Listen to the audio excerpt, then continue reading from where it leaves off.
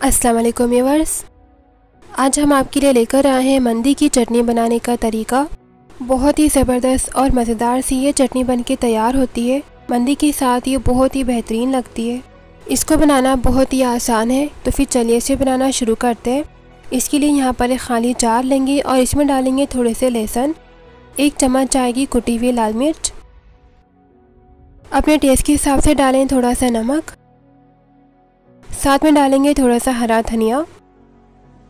दो नींबू का रस जाएगा।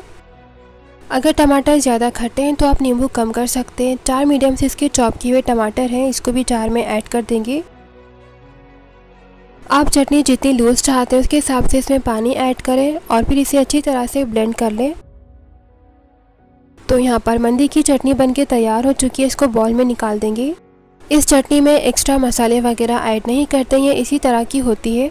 ये चटनी मंदी के साथ बहुत ही मज़ेदार लगती है। आप इसको ज़रूर ट्राई करें और इसे इंजॉय करें। अगर आपको हमारी आज की रेसिपी पसंद आई है तो इसको लाइक कमेंट शेयर करें। शायद इस कुकिंग पे न्यू है, पहली बार आए तो इसको सब्सक्राइब करना बिल्कुल भी ना भूलें। Thanks for watching this video